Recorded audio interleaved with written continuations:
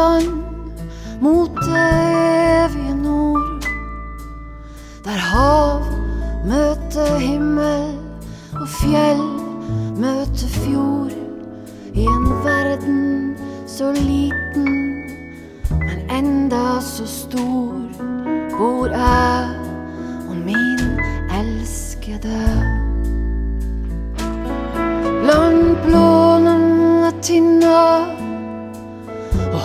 Holmer og skjær. Og blankskurte svaberg og vindskeive trær. Kjent vi to at hjemmet var akkurat her.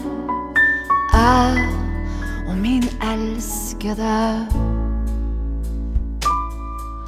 For om høsten er hustrig og vinteren er lang og den kommer sånn annenhver gang fant vi tid til hverandre og ord til en sang.